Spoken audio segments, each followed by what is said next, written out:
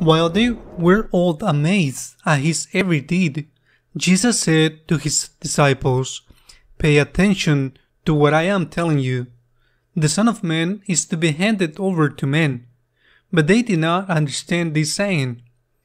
Its meaning was hidden from them, so that they should not understand it, and they were afraid to ask him about this saying. The Gospel of the Lord. Praise to you, Lord Jesus Christ. Today's Gospel says that at the moment when Jesus says this, he was surrounded by success, immersed in success, aims general admiration. How could the apostles understand that he was speaking to them about the coming crucifixion if at the moment everyone was applauding him?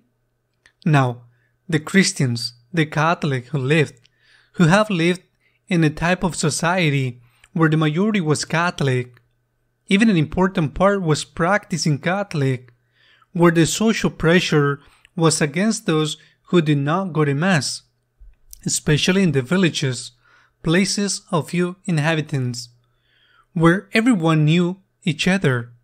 How were they going to understand? How were they going to understand? Everything has changed so much, so quickly. Change always happen, but they are usually more slower. Everything has changed so quickly that what was bad a short time ago, today is right.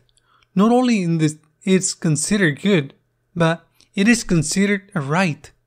Many of us are witnesses of that. Abortion was a crime. Today it is a right. And this is simply an example. Very recently, whoever did not go to Mass was frowned upon. Whoever did not marry in a church was frowned upon. Whoever did not baptize his children was frowned up upon. Whoever did not take his children to catechesis for their first communion was frowned upon. And it was unthinkable that a person died and a funeral was not held in his soul. Unthinkable, regardless of the fate of the person or even of the children.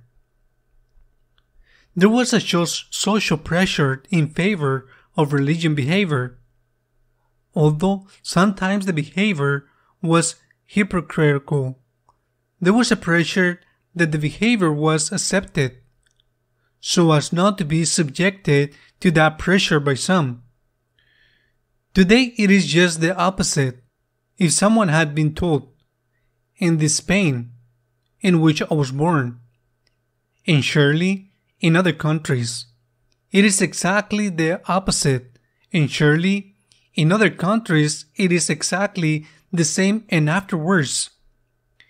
If someone had told them, if they had told my parents, or if they had told me when I was a teenager that what we are living now could happen, I could have been as surprised as the apostles. The disciples were surprised when the Lord in full success said, They will crucify me, he said, but what are you talking about? How dark these words are, and yet the Lord prepared his, his own although they did not allow themselves to be prepared. He prepared his own ways for the cross. Are you prepared for the cross? Because being prepared for success, at least theoretically, it is easy. In practice, it is not so easy because many in success is where they sink. They fill themselves with vices. Well, but at least in practice, preparing for success, for the applause of the world. It's supposedly easy, preparing for a failure, preparing for persecution, preparing for criticism, preparing to go against the title, preparing for the martyrdom. Are we prepared for that? Many times I ask myself this question, many times, and I don't think of the martyrdom of blood. I don't think of it. I am sure that it is painful, as it is sometimes is a martyrdom, preceded by terrible tortures.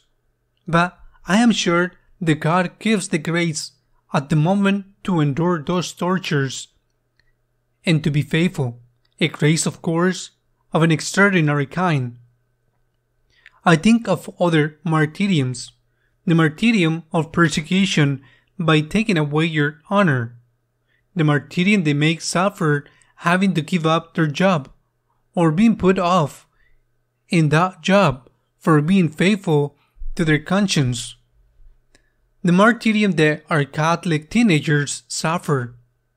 We are perhaps at this moment the ones who are suffering the most persecution because they need to be in a gang, in a group, and in that group, if you are Catholic, if you are practicing Catholic, if you have some strange, strict criteria about sexual behavior, in that group, they generally do not accept you.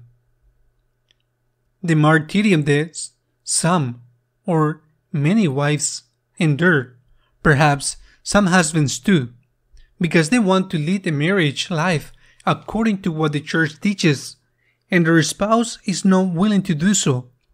The martyrium that is not a blood, but it is a very frequent martyrium.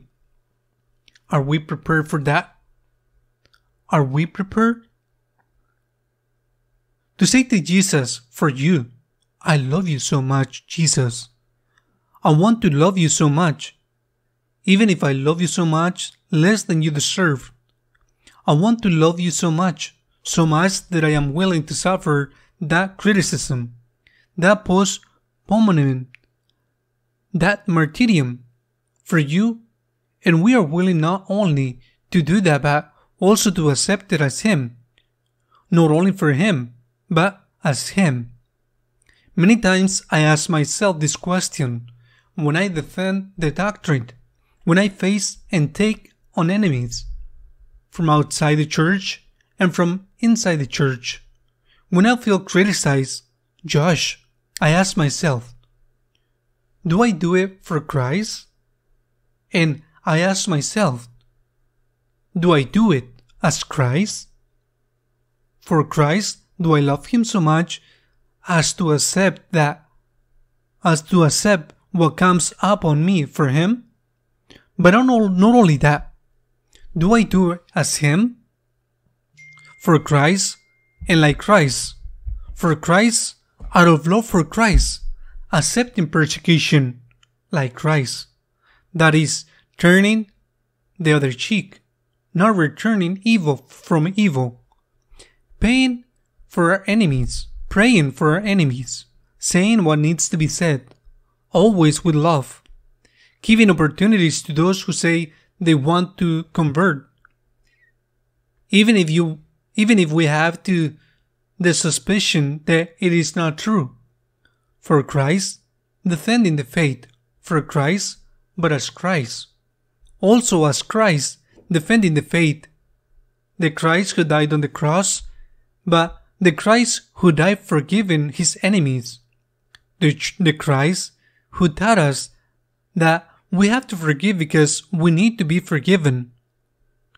The, the Lord's words prepared us for the cross. Even if we do not want to understand it, they have always prepared us for the cross.